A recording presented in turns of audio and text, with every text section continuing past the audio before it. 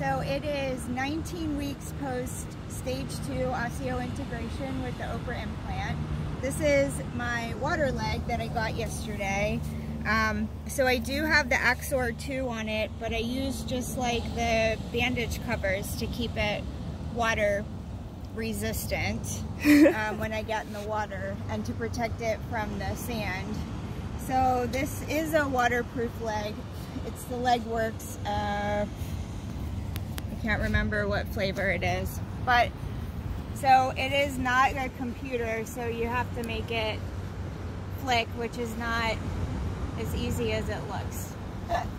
So.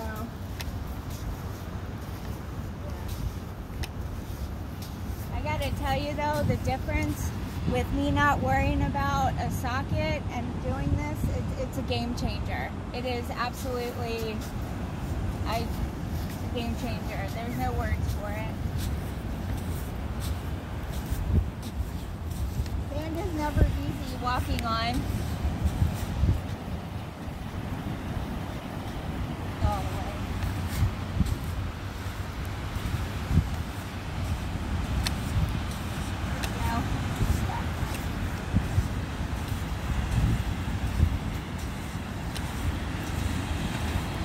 Little bit of a hot mess right now, but so lucky.